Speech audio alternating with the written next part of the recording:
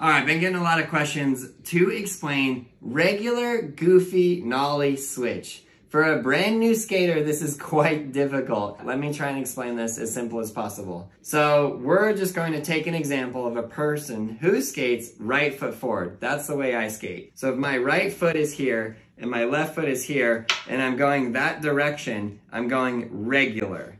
So that is me going regular. Now if I pop an ollie, so we're gonna go boom, pop it from the tail and pop an ollie, right? I'm gonna give you the four ways to do an ollie. There's four different stances in which an ollie can be done. Tail, front foot, that is a regular ollie. Now I'm gonna move my feet from the back to the front position and I'm going in that direction. Very important. I'm riding in that direction. And then I'm gonna pop the nose and then I'm gonna go that way. That is what we call a nollie.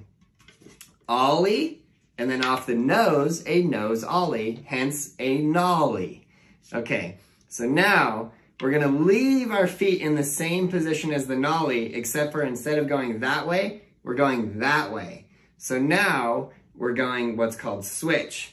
And we're gonna pop the tail and then drag your unnatural foot, your back foot up your back foot now becoming your front foot, and that's switch. Now, if you're going switch and then you put your feet on the nose, now I'm like this, and I'm going that way, and I'm gonna pop the tail and drag my front foot up.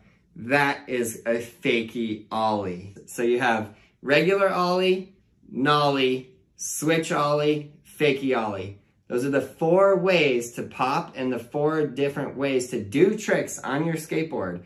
So when you go into the Braille skateboarding app and you say, I want to learn a kickflip, and it has all the stances, it'll say regular, fakie, nollie, switch. And once you learn all those, you can tick them all off and increase your rank.